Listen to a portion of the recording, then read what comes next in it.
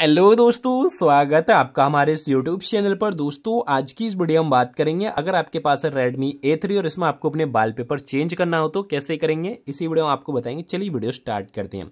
बाल paper change करने के लिए फ़ोन की सेटिंग में जाएँगे सबसे पहले। सेटिंग में जाने के बाद आपको यहाँ ऑप्शन देखो मिल जाता है बाल पेपर बाल पेपर पर जाएँगे, यहाँ से आपके बहुत सारे बाल पेपर आपको देखने के लिए मिल जाते हैं। अब इसमें आपके बहुत सारे बाल पेपर देखने को मिल जाते हैं जो आपको डाउनलोड करने हैं और कुछ आपको यहाँ सिस्टम बाल पेपर मिल जाते हैं या आपके सिस्टम वाले बाल पेपर देखने के लिए मिल जाते हैं। अब जो भी बाल पेपर आपको चाहिए, वो आप यहाँ से यूज़ कर सकते हैं अपने फ़ोन के अंदर। इस प्रकार से इस पर क्लिक करेंगे यहाँ से तो इस प्रकार से आपके अलग अलग बाल पेपर आपको देखने के लिए मिल जाते हैं। जो भी आपको अच्छा लगता है, उसे आप अपने फ़ोन के अंदर अप्लाई कर सकते हैं। चलिए, इस वाले को हम अप्लाई करेंगे साइट एस बोथ कर देंगे। तो इस प्रकार से अपने फ़ोन के अंदर आप बाल पेपर चेंज कर सकते हैं।